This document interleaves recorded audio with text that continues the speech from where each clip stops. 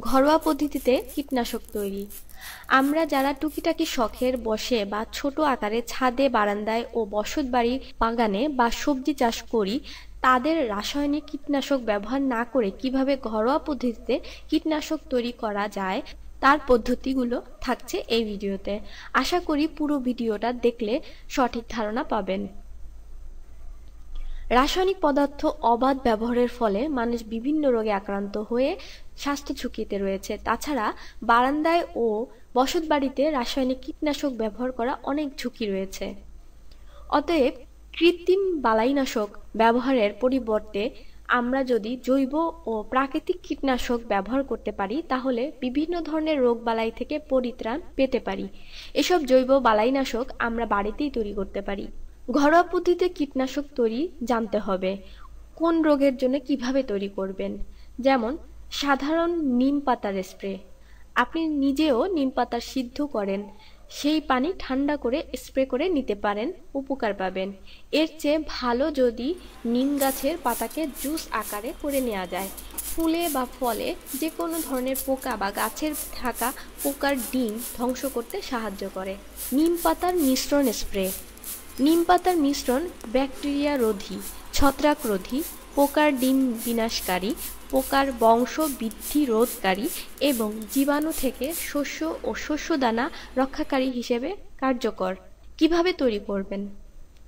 দশ থেকে বারোটি নিম পাতা তিন কোয়া রসুন। তিরিশ মিনিট পানিতে নিম পাতা ও রসুন জাল দিয়ে ঠান্ডা করে ছেঁকে নিতে হবে। চাইলে সরাসরি স্প্রে করতে পারেন বা পানি মিশিয়ে করতে পারেন।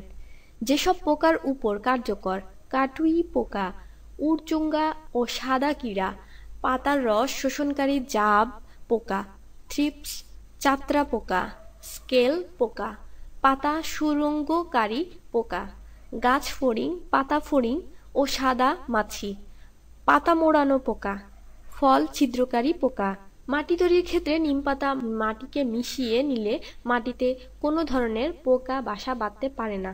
ফলে মাটির গুণগত মান ঠিক থাকে। কীভাবে টাবের জন্য মাটি তৈরি করতে হয় এবং ঘরোয়া পদ্ধতিতে জৈব সার তৈরি করবেন তা নিয়ে ন্যাচারাল এইট এইট জিরো চ্যানেলে একটি ভিডিও তৈরি করা আছে। আশা করি দেখে নেবেন। কোনো কিছু জানার থাকলে অবশ্যই কমেন্ট করে জানাবেন। ডিটারজেন্ট পাউডার গাছে কিছু রোগ দেখা যায়, যেমন মরিচে, লেবু, ঝিঙ্গা, পাতা কোকড়ানো এবং পাতায় ফ্যাকাশে হয়ে যাওয়া বা ছত্রাকে আক্রমণ করলে ডিটারজেন্ট পাউডার স্প্রে নিতে পারেন।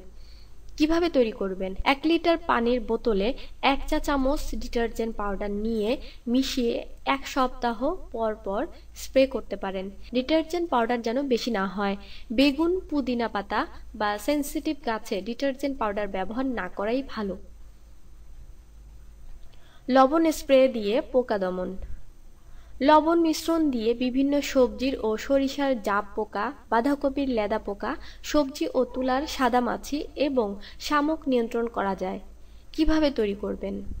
লবণ থেকে কীটনাশক তৈরি করতে হলে প্রথমে এক চা চামচ লবণ নিয়ে চার চা চামচ ভিনেগার দ্রবণের সঙ্গে ভালো করে মেশাতে হবে। এই মিশ্রণে এক লিটার পানি ঢেলে তার সঙ্গে সব কিছু ভালো করে মিশে যাওয়ার জন্য আধা চা চামচ তরল সাবান বা ডিটারজেন্ট পাউডার বা লিকুইড ডিশ ওয়াশ হলেও হবে, মিশিয়ে নিন। পোকা আক্রান্ত পাঁচ থেকে সাত দিন পর পর স্প্রে করতে থাকুন। রসুন, পেঁয়াজ ও অন্যান্য অনেক সময় গাছের পাতা বা ডগা খেয়ে ফেলে বা পাতা মাঝে ছিদ্র করে খেয়ে ফেলে এবং পাতার মাঝে হলুদ দাগ দাগ হয়ে যায়, সেক্ষেত্রে এই স্প্রে ব্যবহার করতে পারেন। কীভাবে তৈরি করবেন? এই স্প্রে তৈরি করতে এক কোয়া রসুন এবং একটি মাঝারি আকারের পেঁয়াজের সাথে চার ভাগের এক ভাগ গ্যালন পানি যোগ করি, এরপর এক ঘণ্টা অপেক্ষা করি এবং তারপর এক চা চামচ সায়ানিন পিপার এবং এক চা চামচ তরল সাবান যোগ করি। রসুনের তীব্র গন্ধ গাছের পোকামাকড় দূর করতে সক্ষম।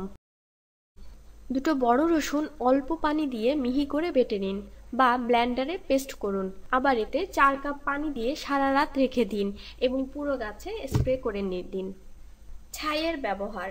বড় পাতার গাছে যেমন লাউ, কুমড়া, বেগুন যেসব গাছে পোকা মাকড় আক্রমণ করে, তার জন্য এই ছাই পাতার উপর ছিটিয়ে দিলে ভালো ফল পাওয়া যায়। চুনের পানির ব্যবহার। কিছু কিছু রোগ আক্রমণ, যেমন অ্যালোভেরা গাছের পাতার দাগ দাগ হয়ে যায় বা মাথা পচে যায়, তখন ব্যবহার করতে হয়। সব সময় বাগান পরিষ্কার রাখার চেষ্টা করবেন, এতেও পোকামাকড় কম হবে। এইগুলাতে কাজ না হলে আপনার বাজারের রাসায়নিক কীটনাশক কিনে ব্যবহার করতে পারেন। রাসায়নিক কীটনাশক ও ছত্রাকনাশক ব্যবহারের পরিমাণ বেড়েই চলেছে, তাই এই ধরনের রাসায়নিক পদার্থ অবাধ ব্যবহারের ফলে মানুষ বিভিন্ন রোগে আক্রান্ত হয়ে স্বাস্থ্য ঝুঁকিতে রয়েছে। তাই কিন্তু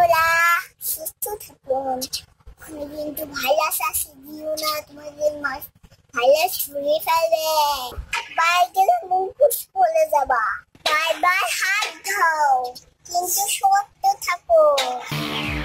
ন্যাচারাল এইটির জিরো